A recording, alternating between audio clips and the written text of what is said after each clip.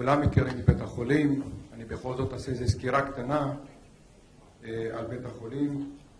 יש לנו חזון שהוא מאוד פשוט, לעמוד בחזית הרפואה, להעניק טיפול מקצועי, אחרת אין לנו מה לעשות כאן, אבל גם הומני, כפי שאתם רואים, מה שכתוב למטה, אדם לאדם, אדם מאוד חשוב אה, לנו, שגם נעניק טיפול הומני למטופלים שמגיעים אלינו. אני רק מנסה להראות את הפעילות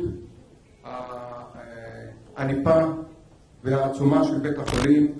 עם 300-400 חולים ביום שנכנסים לחדר המיון, חדר לידה הגדול ביותר צפונה לתל אביב, המחלקה השלישית בגודלה בדיאליזה עם 62 מחלקות ביחידות, תפוסה מעל 102 אחוז, 640 מיטות. וכמובן אנחנו בית החולים היחידי בגליל המערבי עם, אה, שנותן שירות מעל 600 אלף תושבים ונמצאים הכי קרובים מכל בית חולים אחר לאיזשהו גבול במדינת ישראל, עשרה קילומטר לגבול הצפון. באמת הייתי רוצה לספר לכם על ה-MRI שהגיע שבוע שעבר ואנחנו עומדים להפעיל אותו לפני ראש השנה. הייתי רוצה לספר לכם על הבנייה הענפה בתוך בית החולים והפיתוח שלו, על יחידת IBS שאנחנו הולכים לפתוח, על בית ספר לרפואה, אבל היום אנחנו עוסקים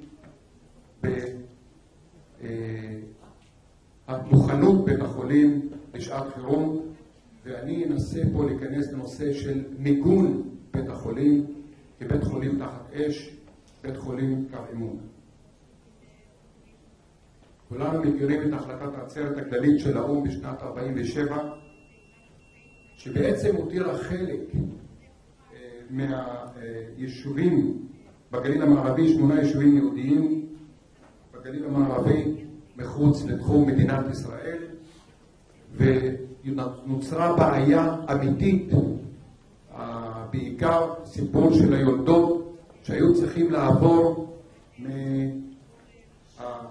מהיישובים בגליל המערבי דרך הים בגלל הסגר ללדת בחיפה. ולכן הוקמה מחלקת יולדות על חוף הים באחד הפנסיונים, מיני פנסיונים רבים שהיו בנהריה, וכמובן גם בהתפתחות באחד הפנסיונים אה, היה שם אה, בית החולים הצבאי, מחלקה כירורגית. אנחנו מכירים רובנו את ההיסטוריה של בית החולים לגליל המערבי בשנת 72, פגיעת קטיושה באזור המגורים, לא היו נפגעים. ב-81, פגיעת פיגזים באזור היולדות עם שלושה פצועים. אני רק מזכיר את ההיילייט של 82 מלחמת לבנון שנייה, 2006, אה, סליחה, 82 מלחמת לבנון הראשונה ו-2006 מלחמת לבנון השנייה, או בין לבין כל מיני מבצעים ומלחמות שהיו בבית חולים היה אחד מיני בתי חולים, במיוחד שהיה גם בקו עימות, היה בין המוכנים לפליטה ולספיגה. אז מה המטרות שאתה הולך למגן בית חולים שנמצא עשרה קילומטר מגבול הצפון?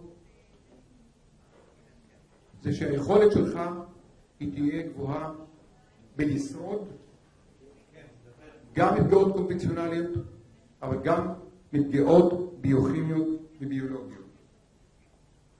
אתה מצפה לתת הגנה מיטבית גם למטופלים וגם לצוותים, ואתה רוצה להמשיך לשמור על היכולת שלך לתפקד בכל המערכות שימשיכו לתפקד, אף מעבר גם לימי שלום.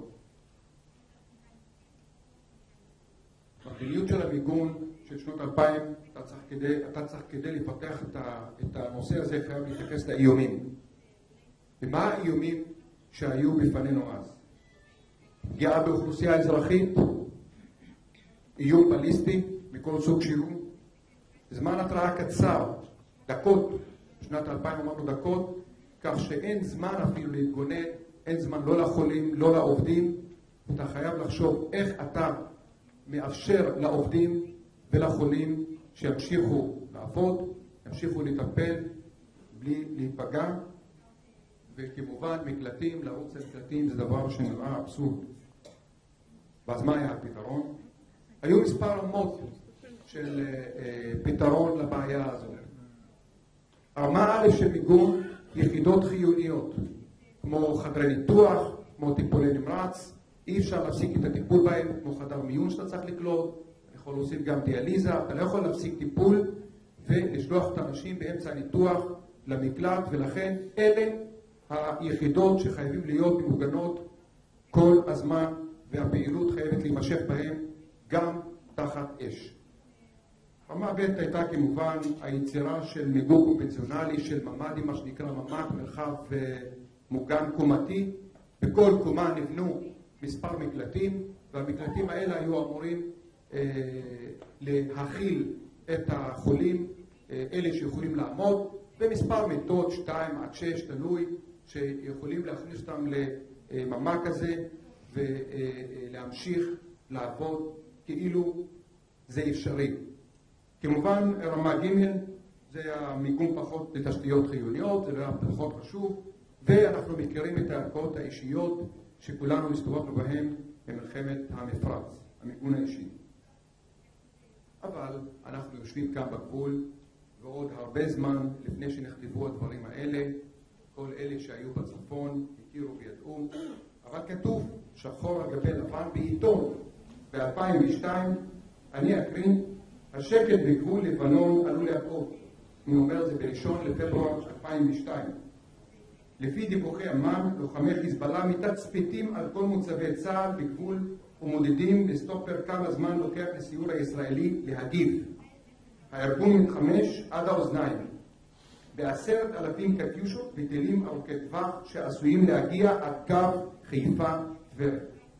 ואפילו מכשירים, מכשיר אלפי מילואימניקים שיעים מקרב תושבי דרום לבנון, בזמן שעבר מהנסיגה הספיק החיזבאללה להקים תשתית מודיעינית בקרב ערביי ישראל בעזרת סוחרי סמים וצד"לניקים שמשפחותיהם בלבנון הפכו לבני ערובה. החדשות הטובות, נסראללה עדיין מתלבט באשר לעיתוי המתאים להשמדת ישראל. כשזה יקרה, נדע. הכל היה ידוע. אנשים ידעו פחות או יותר מה שכתוב בעיתון, ואנחנו כבית חולים שנמצא הכי קרוב בקו עימות, צריכים לחשוב איך אנחנו ממגנים את העובדים, את החולים, את הפצועים, שאם יגיעו, איך אנחנו ממגנים את בית החולים, ועל זה אנחנו צריכים להתייחס מה המדיניות שלנו, ולפי המדיניות הזאת אנחנו צריכים לתכנן, לקבוע ולבנות נוהלים כדי שהעובדים שלנו יעבדו ויתרגלו גם באתרים מוגנים. צריכים לעשות הערכת מצב. אני כרגע מספר לכם היסטוריה. הדברים נעשו והערכת המצב צריכה להתייחס, להתייחס לתרחיש הייחוס. בתרחיש הייחוס דאז היה סיכוי קלוש לפגיעה בבתי חולים. הסיכון והסיכוי היו קלושים לפגוע בבתי חולים, אף אחד לא חשב, או חשבו אבל לא חשבו עד כדי כך שכן יכוונו אה, לבתי חולים. וכמובן בקביעת המדיניות אתה חייב להסתמך על הערכות שנורמות מעליך.